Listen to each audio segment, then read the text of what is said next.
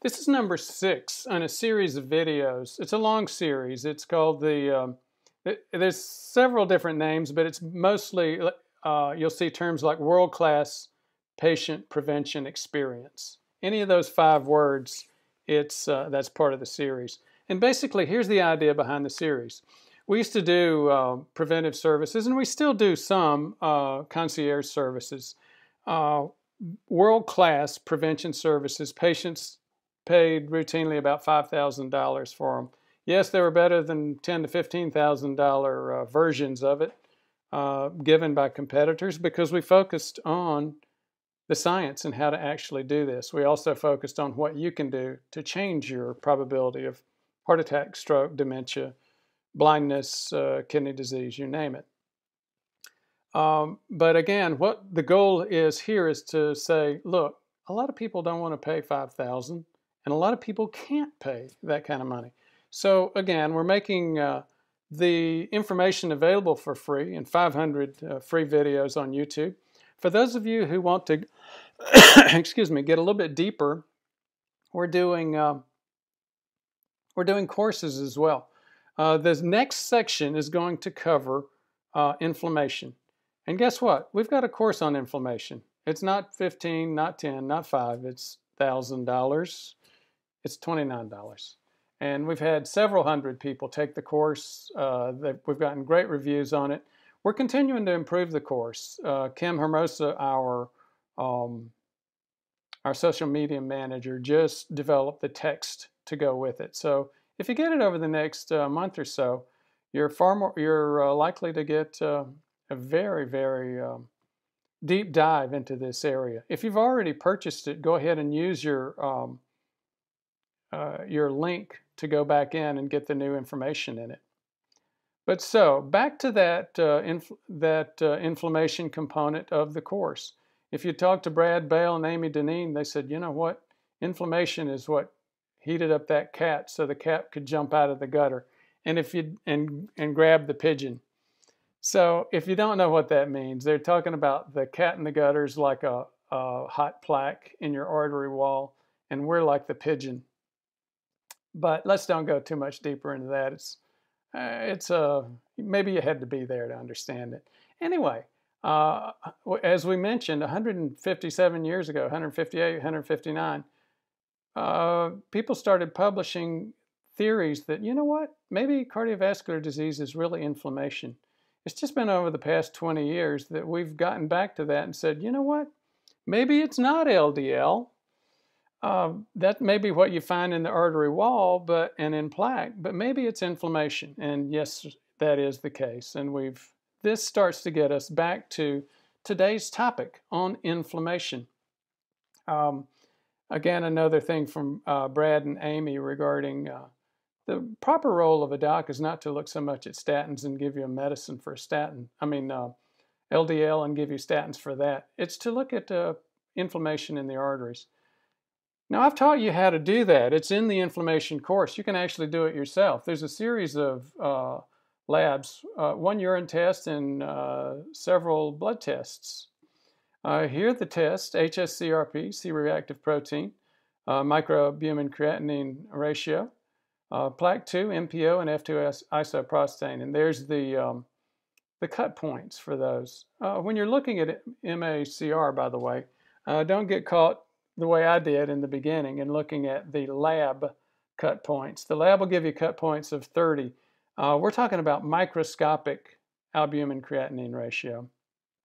Again, if you want to find that course, you go to our um, website, prevmedheartrisk.com, and then um, click on services and pricing and you should be able to find the digital product. Now back to the uh, deck, the uh, patient experience deck. So what you're wanting to do is put that fire out. Even if you have plaque, you're not at significant risk for heart attack and stroke unless you develop that fire again, that um, inflammation. Um, we covered it again in several different areas. Uh, and again, Brad and Amy's view is you want to calcify that plaque, put that cat to sleep so he's not ready to jump on the on the pigeon. Now, again, and pardon me for references to uh, terms of art or uh, analogies where, again, you may need to be there. Brad and Amy also had this uh, commissioned by uh, some, I think somebody in their family was a cartoonist.